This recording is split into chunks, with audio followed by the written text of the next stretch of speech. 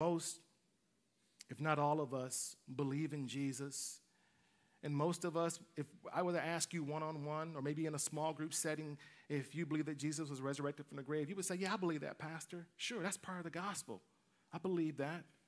And if that's true of you, praise God. However, because this work was done on your behalf so long ago, it may not have the same sting, the same, the same zeal, the same impact on your life currently as it once did.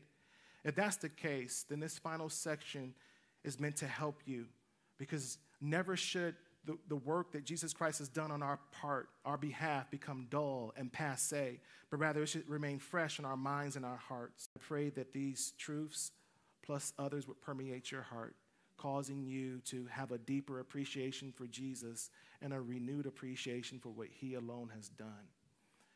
Loved ones, we have done a tremendous amount of work in the book of Mark. And you've heard a lot about the resurrection, a lot about chapter 16 of Mark. As Michael gets ready to lead us in worship again, how about we do this? Take a moment or so and contemplate something you heard, you experienced, or something you read for yourself. And then Michael is going to lead us back into a time of worship. I think the only thing that we should do upon hearing a sermon like this and thinking about the book of Mark as a whole is to fall on our knees and worship Jesus afresh.